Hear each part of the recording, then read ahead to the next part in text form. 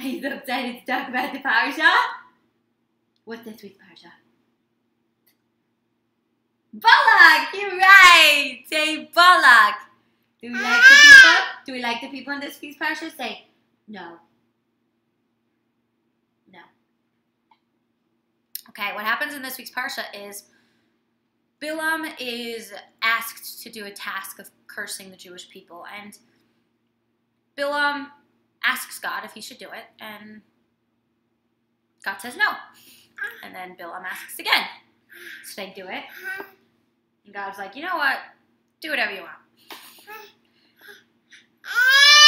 And what happens?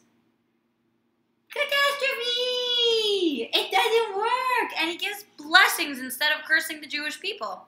What can we learn from this? Something very simple. Sometimes we want to do things, and the simple answer is no.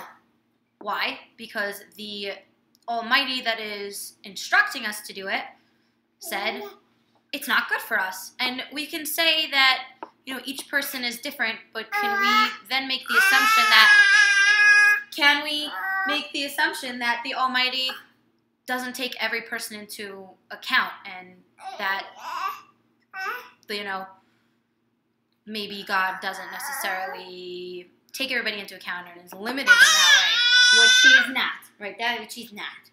So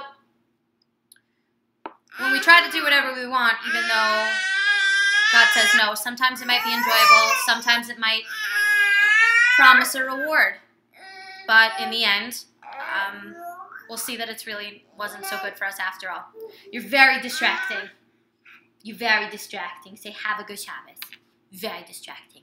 So bye.